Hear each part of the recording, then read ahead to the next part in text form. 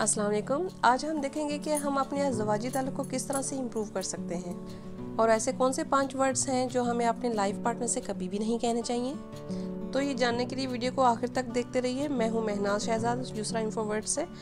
अगर मेरी आपको वीडियोस पसंद आए तो इसको ज़रूर लाइक और शेयर कीजिए। और अगर आपने मेरा चैनल अभी तक सब्सक्राइब नहीं किया है तो इसको सब्सक्राइब कर लें।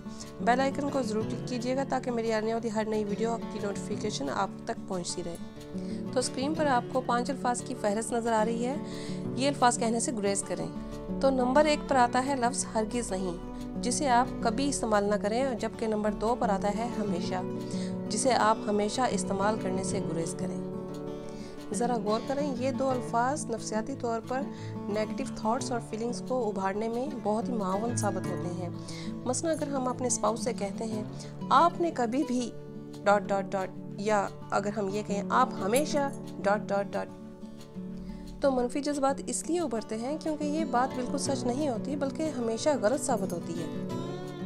एक्चुअली हकीकत में ऐसा कभी नहीं हो सकता कि कुछ काम हम हमेशा गलत करते हों और कुछ हम कभी भी ठीक ना करते हों। यूँ जब जाने अनजाने में हम शरीक हयात पर इल्ज़ाम धरते हैं तो स्पाउस जवाबन दिफाई रवैया अपनाता है। तो अपने ऊपर लगने वाले इल्ज़ाम के बचाव में जवाब देने लगता है। तो ऐसा रवैया अख्तियार करने के लिए उसे किसने मजबूर किया? हमारे रवैये ने, हमारे इल्ज़ाम ने। तीसरे नंबर पे आता है बेहिसी ज़ाहिर करना। बेहिसी यानी जज्बात और एहसास की कमी ज़ाहिर करना। लाइक एबसेंस ऑफ़ पैशन और एक्साइटमेंट मिसाल के तौर पर किसी भी बात के जवाब में ये कहना मुझे फ़र्क नहीं पड़ता। आई डोंट केयर जो हो, सो हो। सो वट वट एवर ऐसे जुमले जो हैं, वो आपके रिश्ते में दरार डालते हैं। चौथे नंबर पर इल्ज़ाम तराशी है, जो हम पहले ही डिस्कस कर चुके हैं।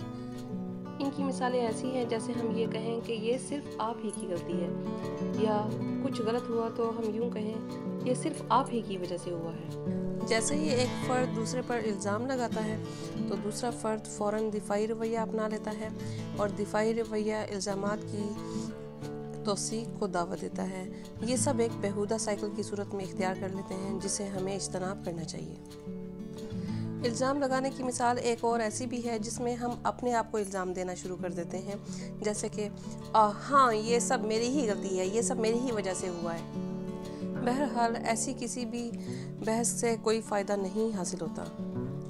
पांचवा लफ्ज़ है, कुछ नहीं, जो दांतों में चबा कर कहा हो, या बहुत गुस्से में जरहाना अंदाज में कहा हो, या इसकी बजाय बंदा खामोशी इख्तियार कर ले।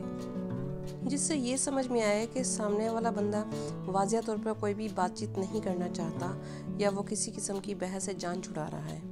वैसे तो रोज़मर्रा ज़िंदगी में बहुत सारे कई ऐसे वर्ड हैं जो नेगेटिव इम्प्रेशन देते हैं। बाज़ात कोई ऐसी बात जो इजवाजी रिश्ते को ख़त्म करने की मुहरक बने। मिसाल के तौर पर यूँ कहना, उफ, मैं तंग आ गया इस रिश्ते से। बस और नहीं चल सकता ये हमारा रिश्ता। ऐसी बातें हरगिज़ नहीं कहनी चाहिए ख़ास तौर से उस वक्त जब मामला बहुत ज़्यादा पेचीदा हों। क्योंकि अजवाजी रिश्ते में बंधना एक अहद होता है, जो आप एक दफ़ा करते हैं और एक दफ़ा करने के बाद बार बार इस अहद को तोड़ने या जोड़ने का इरादा ज़ाहिर करना नहायत गैर अखलाकी हरकत है या तो आप इस रिश्ता से मुंसलिक रहें या अलग हो जाएँ। रोज़ रोज़ अहमकाना जुमले बोलने से गुरेज करें बार बार ये बात जताना मुझे इस रिश्ते में कोई अहमियत नज़र नहीं आती।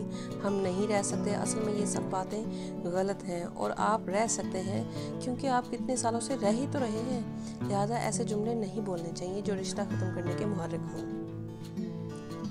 इन सब मिसालों का लुबाब ये है कि गैर मौजू अल्फाज का गलत जगह और गलत मौका पर इस्तेमाल करना हकीकत में न सिर्फ़ अफराद को, बल्कि हमारे माहौल ताल्लुक और रिश्ता को भी बहुत मुतासर करता है। ताहम हमें बातें करते हुए मुनासिब अल्फाज का इंतखब करना चाहिए, जिनके नतज पॉजिटिव हों। हमारी हतलमकान कोशिश यही होनी चाहिए कि हम रिश्तों का एहतराम महलूज रखते हुए पॉजिटिव माहौल की फ़िज़ा कायम रखें।